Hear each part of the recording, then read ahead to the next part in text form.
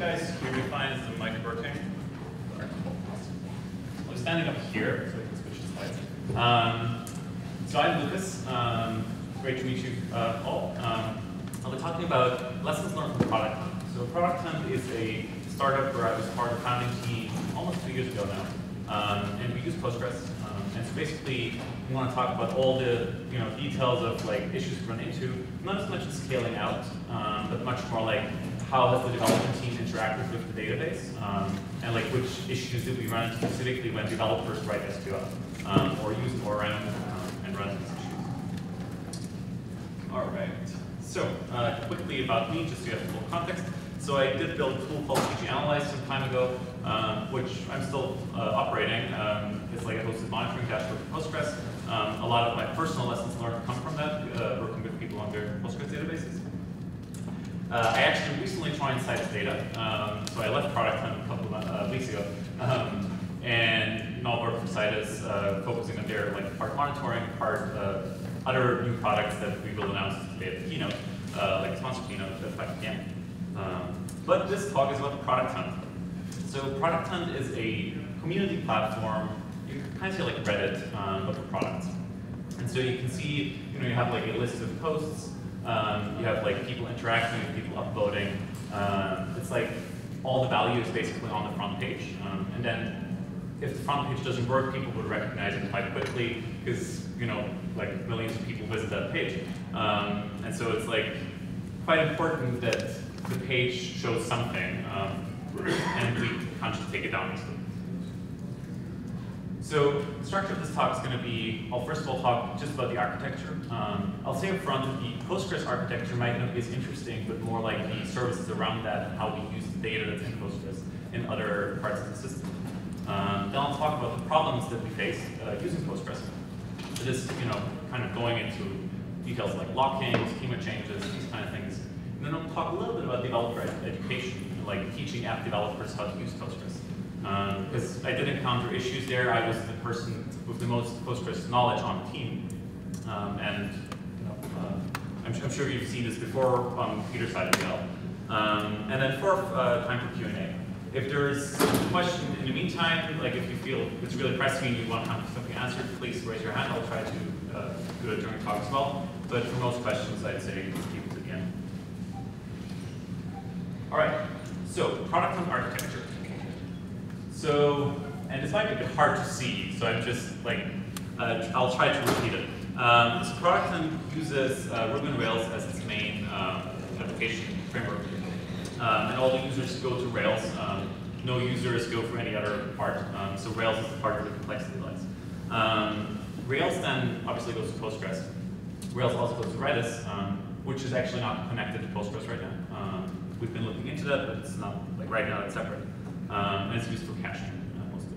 And then there's also something called feed service, which I'll talk in a moment, um, which is quite interesting where we kind of use listen notify to get data out of Postgres. Um, and then going on from Postgres, there is a part where we do analytics. So basically set up a like replica or slave, like master slave setup using stream replication where we basically run analytical queries.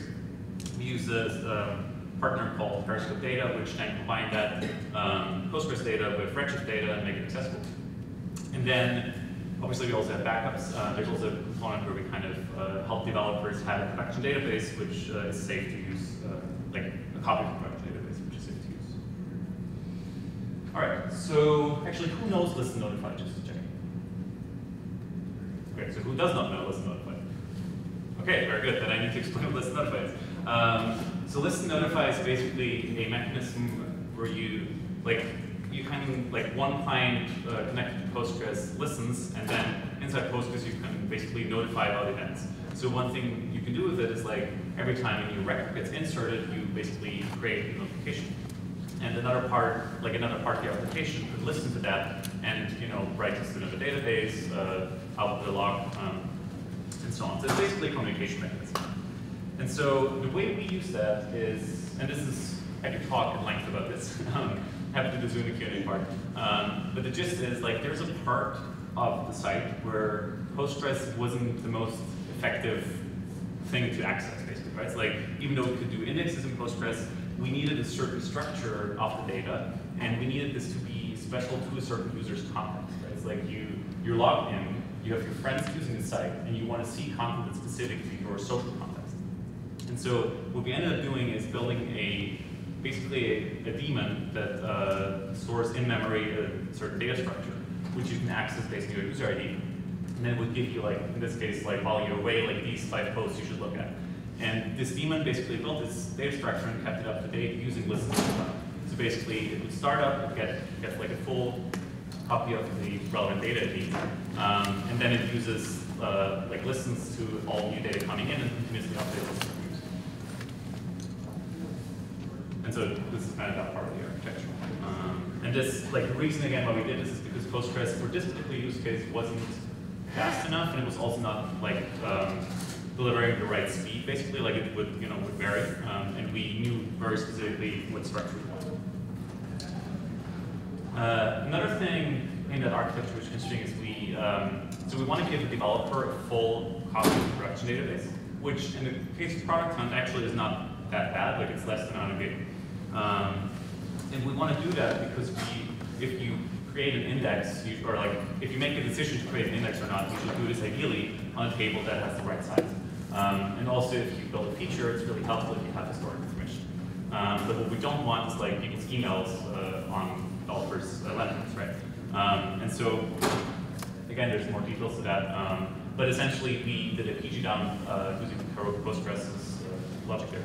Um, did a pgdump uh, to a separate app. That app would import the pgdump, clean the pgdump, like remove emails, uh, remove other like sensitive information, create a new backup, um, and then developers could basically like get this new backup every 24 hours. Um, and that's been really helpful. Like for developers, it's just one command, um, and they have like a fresh copy of the production database. All right, um, and then another piece in this setup is analytics. So obviously, any startup wants to know, you know, are we actually growing? Can we raise another uh, round of VC financing? Uh, all these nice things. Um, and so what's really important here is like basically setting this up so that we could get data out of queries without affecting the production workload. Um, and then also we had a secondary system which would track user activity. You know, people click this and this, uh, like behavior basically. And this was like through another company, they put data into Redshift. Then we use a tool called Periscope Data, um, which our Postgres shop. Um, and they basically build kind of like the BI tool based on SQL. Um, and they have a really nice mechanism where you can have multiple databases and they all, you see all of them as one Postgres, um, which you can run SQL queries on. And this has been really useful. We basically created dashboards based on SQL, um, combining our own database with other. Um, and they also have a really good talk on this. If you're interested in how they're doing their caching, and like they're summarizing like uh, collecting information across multiple databases, uh, I'll post these slides online. Uh, you can watch them on YouTube. It's really good talk. Um, all right, second part. Or actually, any big questions for the first part? Um, second part, uh, problems that we've run into. So one, and this kind of, like this part I kind of want to talk about, you know, obviously if you build your app, you have like your working app at one point, and then you can build your structure as you want it. But then your app keeps changing, right? Especially in a startup, your changes are like every day or every week. Um, they're not every month, right? Like you actually need to optimize for change, you need to optimize for the speed of change. Um, and so one thing, we use Heroku, um, we also use Heroku Postgres. Um, and so if you use Heroku, you can enable something called a rolling deploy, uh, which means when your app deploys, uh, your old version of the app is still running. And you basically, you deploy a new version, then the old, actually now the new version is already up and running and uh, accepts your request. And so the issue that you have here is when you make a structural change to the database, like say remove a column or change column's name, that when do you run this migration, right? Like when do you make this change to your structure? And so I'll go into more detail on the next slide, but basically the gist of this is you make an initial structure change, right? So you make a change that's actually safe to do at any time. Like the old code can, like is stable to run on that change, which could be you add a column, right? Or if you want to re rename a column, you still need to add a column, um, fill it up with data, and then like remove the old one afterwards. Um, so you add a column or you basically make the structural change which wouldn't impact the running code.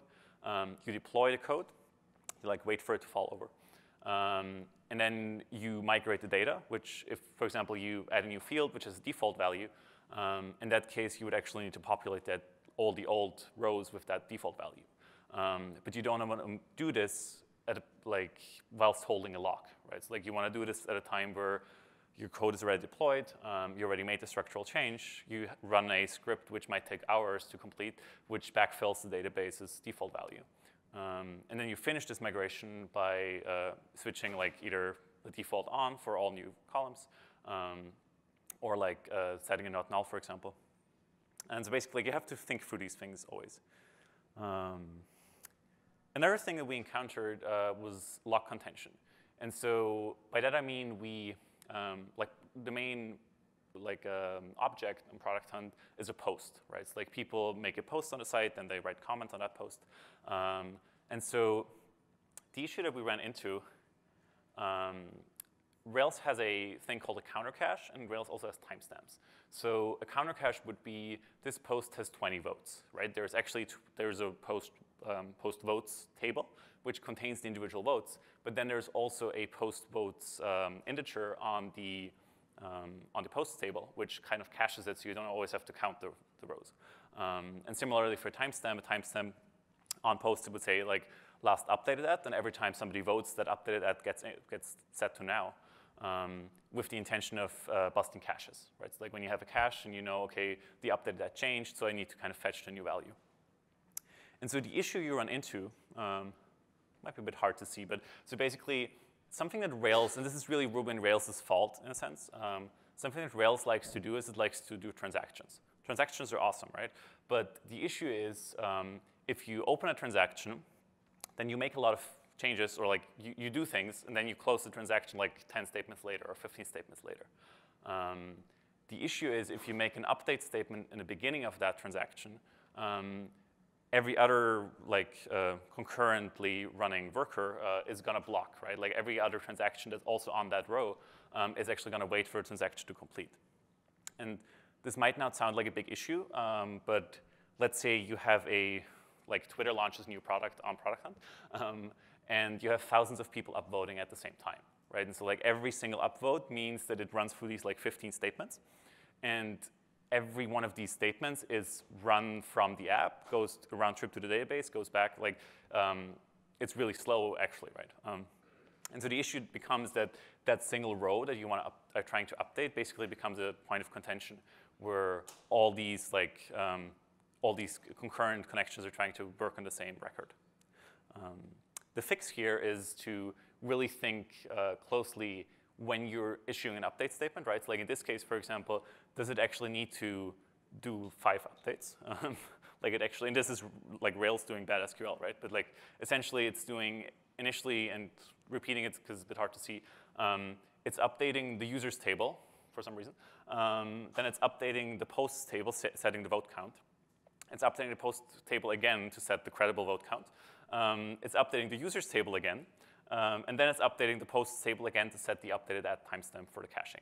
Um, and all during that time, the lock on users and also posts is being held, right? Um, so it really try to like optimize these things away. Similarly, if you're looking into locks issues, uh, like people might notice, but like um, there's something called the deadlock timeout, which is basically the time until Postgres checks if a transaction is like stuck in a deadlock with another transaction. Um, you can also enable something called log lock waits, um, which would give you like basically after this deadlock timeout, when Postgres already checks on a lock, um, it will also tell you that it did that. Um, so you can easily see like which um, transactions are problematic. it's a bit hard to read, but it does help you like say, okay, this table has an issue. And also how often it has that issue. And then in Postgres 9.6, there's actually a really nice addition. It's a bit technical, but like it's a really nice addition where like stat activity, which shows you the, the current connections, um, also shows you if a connection is like if a query is waiting for something. It'll show you what lock, what kind of lock it's waiting for, um, and you can then determine, you know, is this actually Postgres having some lock contention inside? Is it like you writing bad code? Um, that kind of stuff. All right. Um, similarly, uh, idle transactions. I'm actually curious, who has encountered an issue with idle transactions? Okay, a couple of people. Uh, those people who have probably set up monitoring afterwards, because idle transactions are horrible. Um, or prevent people from using a production database. Very good. Uh, that's, I mean, it's, it's a uh, good way of doing it. Um, you can also like I think with 9.6, you can now set a timeout for a transaction. But so basically, this is an actual issue we had is like um, you have a process that opens a connection, um, that opens a transaction, um, even worse, makes an update statement, for example, um, and then the process crashes. But for some reason, the process crashes in a way where it's not actually exiting. It's stuck in a weird memory leak type of loop. Um, and in Ruby, this happens. Um, and so the issue then is that other statements start to pile up because of that transaction. Um, you have both a locking issue. You also have technically an issue of transaction wraparounds. Um, but here it's really um, here it's really about the issue that uh, you have this thing which is not doing anything anymore, but it's taking a resource and it's locking the resource. Um, and then if you want to debug this, like there's queries for that. There's also, like if you use Heroku Postgres, there's a great tool called pgdiagnose, which will show you this. Um, but basically, it's something you really need to watch out for. Um, and similarly, if you have people using your database uh, and not using it properly, right? Like if you have analysts going to your production database, for example, then you have the same issue sometimes. Um, and here you can actually see, so in this case, this one query blocked it for one and a half hours. Um, and you see I actually had to remove queries. Like the long list on top is basically the queries that are waiting for that one connection to finish. Um, so, and then your whole system grinds to a halt, right? Because like all these other parts of the system are also waiting. So like then your web website becomes unresponsive and so on. Another um, good issue to run into is connection limits. So Postgres has a connection limit, right? Every connection to the database takes up memory. Um, it's there for a reason, so you shouldn't set your connection limit to be 10,000 because your server is going to run out of memory. Um, but it's still causing issues, especially if you have an application which just likes to open a connection and then sometimes do a query, sometimes not do a query, but it keeps the connection open all the time. And so a nice way of showing how this can easily be an issue is like, um, so Heroku has something called a dyno, which is basically like a container, you could say. So like one instance of your app running. For example, let's say you have 10 connections per dyno. Um, so maybe you have like five threads and like two processes in that dyno. Um, and then you have 10 dynos, which with Heroku is just a slider, right? Like I'm like, oh, well, maybe today I need five dynos, oh, I need 15 dynos. Like you just change this without thinking much about it. And then you also have rolling deploys, which means there might be two instances of your whole application running at the same time. And so this kind of illustrates like 10 times 10 times 2, um, you have 200 connections. Um, and this really becomes an issue the more you're like, oh, we'll just throw more hardware at this. Um, and then your max connections is just maxing out. Um, one way of like dealing with this, which we actually didn't implement in this case, is PG Bouncer, for example. Um, so putting something in front which handles the connections for um, before the database, and then the database only gets the connections which are actually doing work. Um, so there's like ways of going around this, but you really need to watch out for it. Um, then another, and this is kind of a bigger topic, is um, if you want to make a change to your schema, right? Like as I said, often it's the speed of change which is important, um, not as much like the getting it perfect from the right, um, from initial moment. Um, let me actually, yeah. Um, so kind of, this is a list of six or seven things your developers should watch out for. Uh, and it's an arbitrary list. I'm sure there's many more. Um, but this is kind of when I, so we did like code reviews, right? It's like people would do a pull request and I would look through the code and I'd be like, oh, there's database migration. Um, and these are the things I would look for and developers often wouldn't take care of this. Um, so the first thing is you don't want to remove a column on a large table. Um, why? Because it will take a lock, and it will take that lock for quite some time. Um, and whilst that exclusive lock is taken, uh, the whole read-write, like read especially, um, workload can't do its job, um, which means people will wait for your website to load. Second thing is don't rename columns, right? Um, the reason why you shouldn't do it, so renaming columns is actually fast. Um, the issue with renaming a column is if your old code is still running and it tries to use that column, uh, then like, like hell will break loose, at least for five minutes until new code goes into production. Um, and the way around this is basically, like you really have to be careful and like we fix this off by just not renaming things, right? So like in the database, it would be called a certain thing, and in the client, it would be called something else. Um, the way around this, if you want to have no downtime, kind of, um, is that you would create a new column, you would copy all the data to that new column, um, and then you would switch over, and at the point where you switch over, you actually have the full data in both columns. But it's usually not worth the trouble. Always index concurrently. Um, so Rails has a lot of nice migration helpers where you're like, oh, let's add an index. Um, unfortunately, it doesn't default to use concurrently.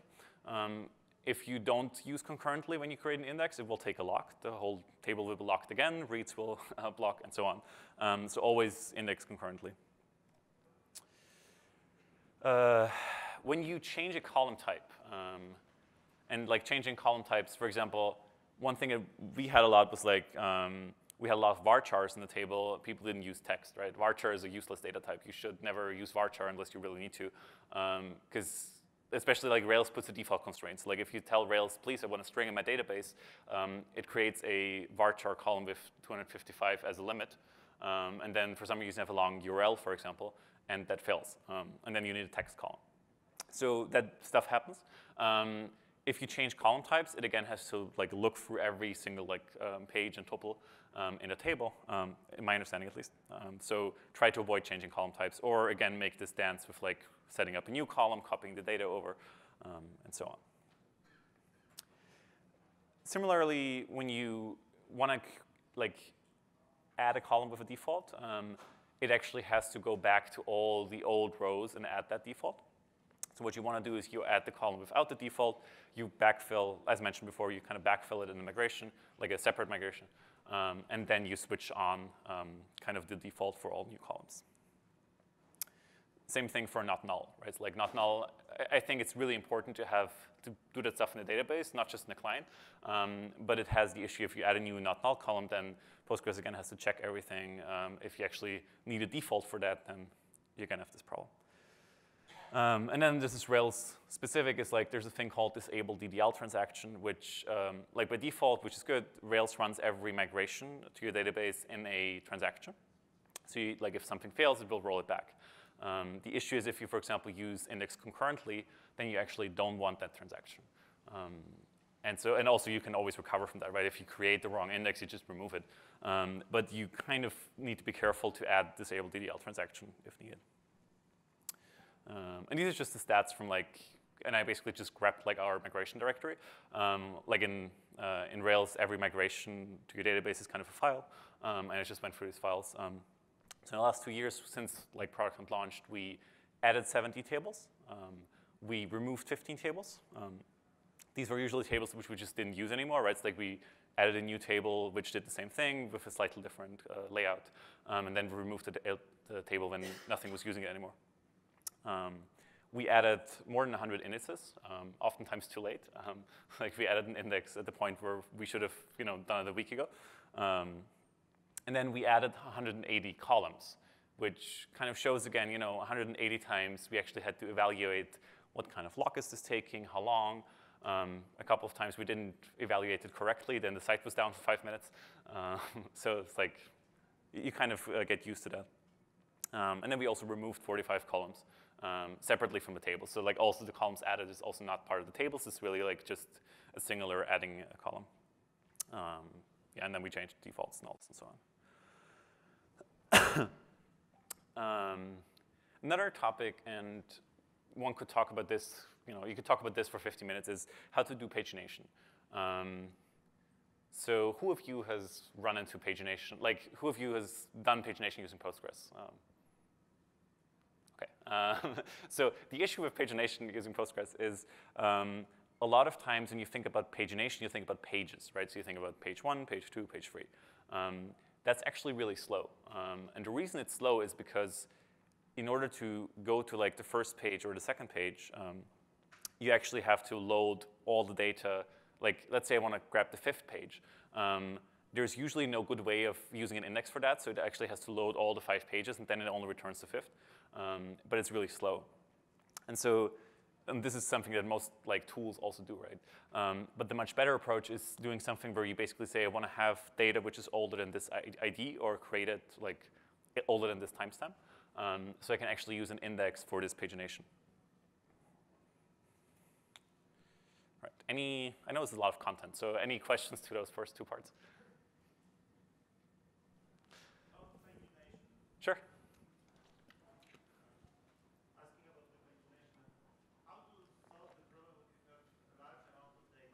Yeah. Um, if, if you have experience of solving the problem, you have a lot of data in the table, and actually it cannot be like this, because like you have millions of rows, right? Mm-hmm. And did you find some idea how to do the better pagination, not to scan, for example, Mhm. the whole table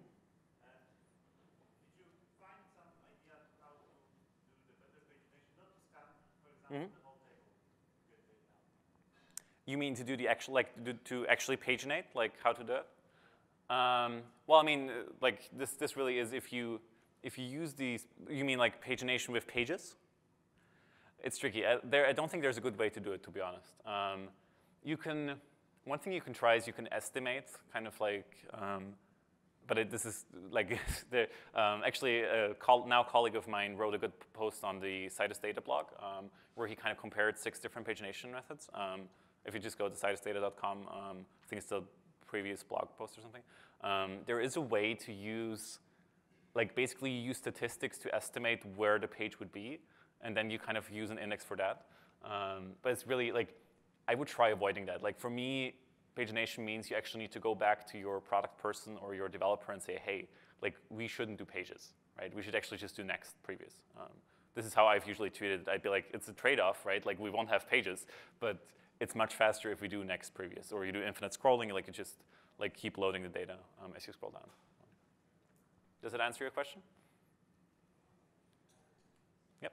Um, Have you had issues with uh, Rails with um, when you add a new column um, if you're using query plans that we've seen where it uh, wins the query plan, the Rails doesn't rebuild it properly and it's caused outages for us. Have you experienced that? Have you used query plans? Sorry, so you mean like, So even something that should be benign, like we want to add a new column, yeah? um, with query plans turned on, uh, Rails ended up invalidating the query plan and where it happens within the Rails stack, it doesn't actually request a new query plan, it just starts failing stuff. Yes, yes. So there is an issue. uh, There, it's a very good point. So the question was kind of like um, if we encountered an issue with like um, Rails failing because it was using an old plan because it uses prepared transactions. Um, it's a long topic. I actually initially wanted to include it in this talk, and I didn't include it uh, for a reason. Um, so Rails, by default, runs everything in a pre- prepared statement. Um, so that means, um, and it kind of does this for half security, half uh, other reasons. But um, the issue is, so we, to answer your question, we actually haven't have run into issues with that, but mostly using timeouts. So not when we make a change, um, but the issue is that Rails would basically um, Rails internally keeps a cache of which prepared statements it kind of uh, created um, for, for every query. Um, and then it tries to use that cache, and sometimes that cache gets poisoned by a timeout, and the timeout kind of corrupts the structure or something. Um, and then actually Rails just starts failing really oddly. Like um, if you encounter like prepared statement issues with Rails, uh, there's like it's usually a timeout related issue. Um, but I can go into more detail if you want, maybe at the end. Um, all right, um, going forward, um, we should check, are we on time? Cool, okay, so I think we got another 20 minutes. Um, so developer education. Um, so for me, this is really, and this is you know, kind of something that falls on all of us. Um, I don't think, like I think you can do developer education inside an organization. Um, you also have to do it in general, like for the Postgres community, um, but just helping people use Postgres effectively. Um, and the first thing, of course, is explain, right? Um, actually, just to verify in this room, how many people don't know explain? Okay, cool. So you all know explain. Very good. Um, but so in our company, I think at least half of the developers didn't know how to use explain, right? And like that means they can't verify if an index is being used. If they see a problematic statement, they don't know how to debug it. And so, you know, it might be as simple as just showing people, hey, you can run PSQL to your database, um, or maybe even to your staging database, um, and you can actually run and explain, analyze uh, with buffers turned on, for example. Then you can actually see how much data is being returned from the database, how long every operation takes. Um, just showing that people already gives them like a really nice uh, power tool. Uh, another thing which is really good, which most of you probably know, is explain depesz.com, which is like great DBA guy from Poland, I think, who wrote a little tool to like visualize the explain output, which helps you identify the part that's slow in a plan. And then more recently, there was also somebody who created a more visual representation.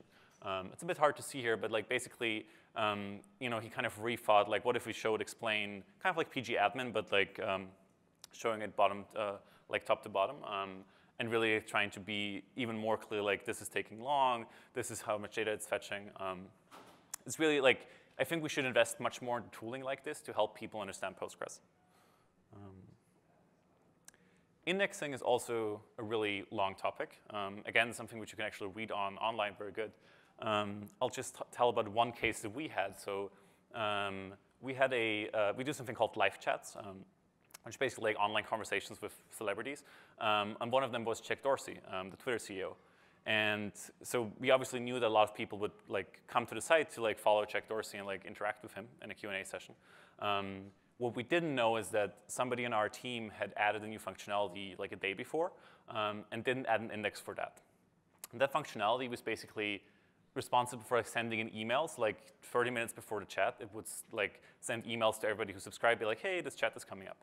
Um, and the issue is that it was kind of checking if it already sent the email in the database. Um, and for that check, there was no, um, there was like no index on that column. And so what happened is like starting 30 minutes before, but like it took some time, the whole site basically went down, right? And so like for the first, I think five or 10 minutes, like Jack Dorsey was on his phone trying to answer live chat and people were trying to like access the site just because somebody forgot to add an index. Which I think again shows this is just about education, right? Like it just need to be, if somebody makes a change to the code, they also need to make a change to the database.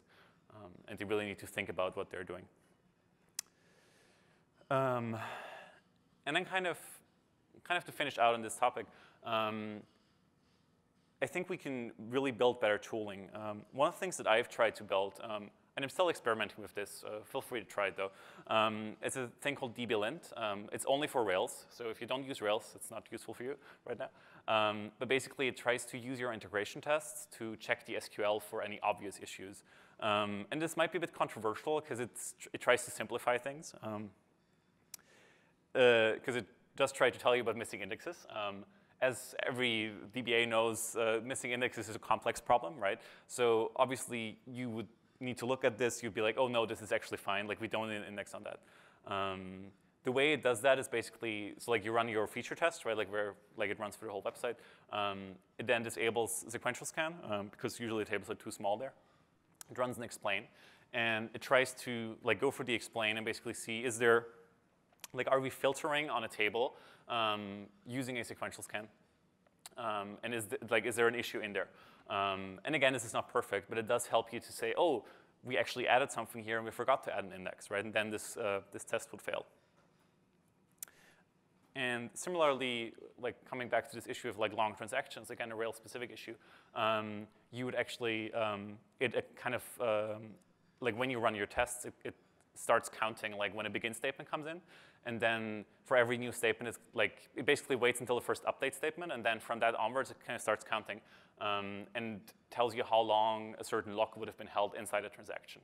And so here, and this sounds crazy, right? But like here, for example, you had a lock for 29 statements, right? It's like, this means like maybe like 20 second, uh, 20 milliseconds round trip or something, right? It's like you actually, for a very long time, have a lock that's held um, by a certain part in your code. Um, in this case, like accepting invitations. But again, this is something that developers should know about. Um, another really nice tool, and this is again Rails specific, but not, not built by me, uh, built by um, great folks at Basecamp. Um, uh, they basically built a thing which annotates your SQL queries with like the place where they were called from. Um, so like telling you this application, this controller, this action, um, helping you understand like where a query comes from. And this can be really helpful like not as helpful if you use stat statements because stat statements would ignore the comment, um, but more helpful if you logged um, if you log certain statements to your like uh, Postgres log, um, and then it would actually show up and be like, oh yeah, this is like this is where the statement came from. And then so Square um, recent so Square is a MySQL and Cassandra shop, um, but Square released a tool called Shift, um, and Shift is basically Um, it's basically a tool for managing your migrations. So developers would basically go into Shift. They would say, here's my new MySQL migration and want to run on the production database. Um, they would submit it. Another person in a team would review it, just this like migration.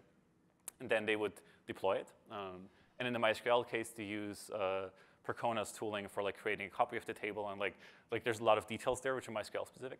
Um, but the real benefit here is that you have a specific review tool for migrations, right, and for changes to your production database. And so I think that's also something which we should have for Postgres. Um, we should have a tool that people use to handle their migrations. We should have a tool that tells you you should use create index concurrently. Maybe you do need to create a copy of the table for some reason, right? But like kind of helps you negotiate, um, like have that conversation. Yes, and I will actually see. Um, yes, better content. So we should uh, keep investing in the Postgres documentation because it's awesome. Uh, I think we still win um, having the best documentation. Um, but I think we also should you know, highlight other things. There's Postgres Weekly, um, which is like a weekly newsletter, um, really good to like see new content. Um, and then there's also a really nice site around indexing called Use the Index Luke, which every developer or like every app developer should know.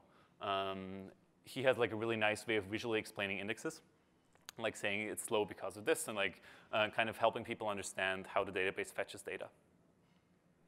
And it's, it's actually a free resource. Like he also wrote a book called Modern SQL, um, which you should buy. but uh, it's a free website. People can just go there and look up things. Yes, and I think that's it. Um, questions? Um, so you, in terms of renaming columns, Mhm. like a workaround of adding a column and then having a Yeah. having a period where those columns were synced and then dropping the old one. I didn't hear the end solution for just removing a column from a big table. Sure. So removing a column is, is kind of specific. Yes. well, there is no good solution. um, it, I think it depends. So, and there, there's two sides to this, right? Like if you have a small table, you can usually just remove it, but you need to take care of the code that's still running. So for example, Rails actually keeps a cache of all the columns that exist on a table. And so every insert will start failing if we remove a column without updating the code. Um, so there's some stuff, like if you can actually remove it, there's still some stuff to take care of. Um, for large tables, we just didn't remove them. Um, like the solution would again be, in my understanding, and other people might know better, um, solution would be to create a second table with the new layout, um, which is usually not worth the hassle, right? Because like a field that's null doesn't actually take up much space. So. Yeah, like, uh, sorry, say again. If you're dropping a column, you stop using it in code, Yeah. and then in the next migration, just drop it. But I think the issue, if I understand correctly, like the issue of a big table is still that it would have to rewrite parts, right? Because it, Oh, I thought you were talking about just yeah, it's a, there's like both sides, right? Like there's the code errors, and then there is the database like locks, which are held for a long time. Because in the end, the like motivation would be that you don't want to shut down your database, right? so, um, um, other, yeah. I was actually gonna, so I'm not, not familiar with, uh, with using Rails. Um, are all the queries in your web app done through the ORM, or are any of them, you know, running Sure. RESTful against? Uh, and let me actually repeat the question. I just remembered that I should do that. Um, so the question was, um, in Rails, uh, like, are all the queries done using the ORM, or do we actually write our own queries as well? Um, so Rails does a lot of stuff in the ORM. Um, it also does a lot of bad stuff in the ORM. Um, like up until most recently, it started like it always added an order by to a query, um, which would often mean that it couldn't use a certain index. So Rails does like Rails does an ORM mostly, and it's sometimes bad. Um, we practically use that ORM for most simple queries. We often try, like for example, the ranking algorithm, right? It's like product, you know, like people are ranked based on votes, but then there's a like time component to it. Like it's a really complex uh, logic, um, and that's actually SQL, um, and that's obviously a custom SQL. Like it's like a, I think three line string or something, which just like maps that. Um, and then like using using CTEs in some cases, like if we basically anything around like combining like this table and this table and these people and like where you really need to like specify something more complex. Um, but does it answer your question? Yeah, There's, I mean, yeah. Um, I think you can do a lot of good things with SQL, which Rails doesn't do, because Rails still tries to be compatible, right? Like Rails actually wants to be usable with MySQL, by Mongo, like uh, even though it, like a lot of people who use Rails use Postgres. Uh, Yeah, we use SQL Alchemy to have similar issues. Like SQL, the library? The SQL Alchemy in Python. Oh, SQL Alchemy in Python. It's much better. Yeah, it's, uh, like SQL Alchemy is much, much better than Active Record. So, so. Yeah. um, yeah. You mentioned uh, using PG Bouncer maybe to consolidate some of the connections and stuff, and you weren't using it there. Do you see any uh, negative drawbacks? Obviously, Rails has its own pooler, and talking to some of our devs, they were reluctant to try and change the, say, transaction-based pooling for a different product. So just repeat the question, be sure, like, so you're saying, is there any downsides to using PG Bouncer because you lose some functionality, right? Like, is, would there be an issue with Rails? Yeah, like uh, prepared statements again being coming back into play. If I use transaction pooling with PG Bouncer, I can't use prepared statements, so that kind of goes away. Um, Yeah. just kind of curious what your thoughts were s- for some of the drawbacks. Or I, I think, uh, so we, we didn't actually experiment with PG Bouncer on, on that product. Uh, I, have tried it, like, if, if, I'm trying to see if, I don't think I use it right now, if anything, but um, I think the issue that people would encounter is as long as you use the mode of PG Bouncer where it maps one connection to another connection, it's fine, right? But as soon as you like start losing transactional semantics and so on, um, I mean, you can use it with Rails. You can turn off the prepared statements. People actually do that to work around these timeout issues. Um, so Rails can be fairly simple on that. Um, I don't know if the transactional, like Rails actually does like to use transactions a lot. So, like it does often do a begin and commit. Um, that might be an issue with certain PG Bouncer modes. Um, but yeah, I don't have a really good answer because I haven't played as much as I'd like. Um, Did you ever have to uh, play with TCP parameter settings in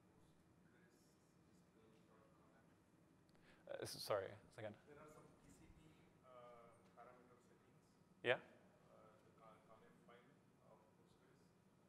Uh, do you ever have to uh, play with it, or you always wait with the defaults? Uh, TCP as in like the transmission control protocols, like network stack. I see. Um, we didn't, no. Um, so the question was if we ever like modified Postgres like TCP or connection settings. Um, I, we didn't, no, we didn't modify that much. Uh, it might have been a good idea. Um, yeah, like we, I mean, so a lot of the parts here of tuning Postgres, we also defer to Heroku Postgres because the database was at a scale where we were fine with doing that. Um, I do like personally have tuned databases on physical hardware. Um,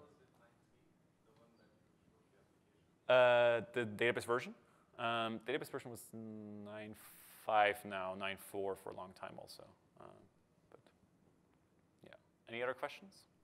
In terms of cleansing data like user emails before you give the Yeah. devs a local copy, did you just hand roll some Ruby script to do that, or did you use a framework or some tool for that? Yeah, so the question was um, for the like cleaning the personally identifiable information from developer copies, um, like what we used for that. Um, so no, we just built our own. Um, it was basically like a second Heroku app which would pull in a backup, uh, which would then also notify Slack so like developers would be, hey, like, like a new developer dump is available. Um, it's, I mean, it's like 20 lines or 30 lines of code. I wish there was a tool for that. Um, yeah, I think, I mean, there's actually an issue on that that we sometimes forgot to add tables to that. It's like, you know, you would add a new table which would track certain behavior, for example, and then you would forget to like, like change the cleaning logic. Um, yeah, but it's, I don't know, like if there's any other tools that you would know. Um, but Uh, yeah, but like if, if you do know a tool for that, please let me know. Like, like, I've seen, I've seen tools, our database is too big, our production database is way too big to, for devs to have locally. yeah, So there's a tool called Jailer that we've been experimenting with, which is a data subsetting tool right. that is actually pretty amazing. And it, you can plug in like, okay, certain columns, as we export the data, pass it through a function, and then in that function, you just anonymize it. That's nice. Um, What, what's it called again? it's called Jailer, Jailer, yeah, Le- as in jail. yeah. Alright. We've actually been the only ones who run it open source. Awesome. Perfect. Well, I, I mean, it doesn't matter in this case, right? Like, as long as it works with Postgres. Um, yep, sorry. Out of curiosity, do you guys uh, export your migrations to SQL and run them as SQL, uh, or do you actually run Rails migrations directly to prod? We actually run them with Rails migrations. Um, there is some tooling. this is again, I mean, so the, sorry, the question was like if we export the migration to be like SQL and then run that SQL, or if we actually use like Rails has its own built-in tools for it. So it's like rakedb migrate, and then you like run a Ruby file which creates SQL on the on the fly. Um, so we we use a structure SQL. Like we, we definitely track the schema in a like a SQL um, structure, but we like we just run migrations as rakedb migrate. Um, we do actually do it in a way. So basically, we have a second app like when you deploy a new version of the code, it first deploys to an app called like product hunt db migrate, and db migrate actually runs the migration, and then it deploys, then does the actual deploy, um, which kind of takes care of that like same issue where you want to um, want to run the migration, like the initial migration, you want to run before the code change. Um, but yeah. Any other questions? All right, how are we in time? Are we? That's okay. Perfect. Cool. Then thank you. Um,